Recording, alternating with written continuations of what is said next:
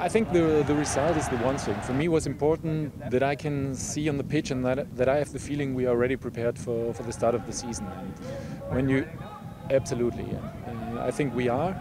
And uh, one more time, when I see that we uh, miss our players with the national teams, and, and uh, so so I think we, we did a really good performance, and I'm yeah totally convinced that we are already prepared yeah, for me, I think it was uh, it was nice uh, just to play a lot of games. Uh, we've been uh, we've been training a lot. Uh, we've been training hard, and uh, I think you can see it now. We're playing quite intensively on the pitch, and I think that was okay. Now we just need to, to win some games, and then it's all good.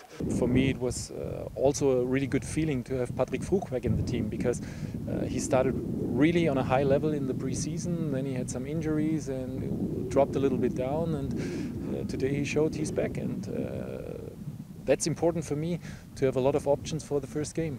That was the goal.